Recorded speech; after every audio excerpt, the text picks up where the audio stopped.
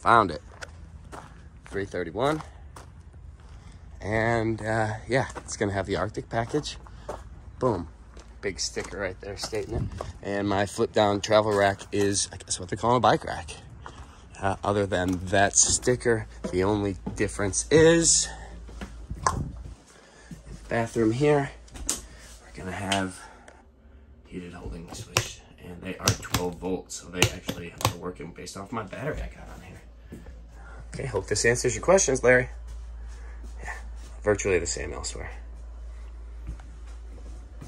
And look at that. There's that last question. Auto detect for lithium. Awesome.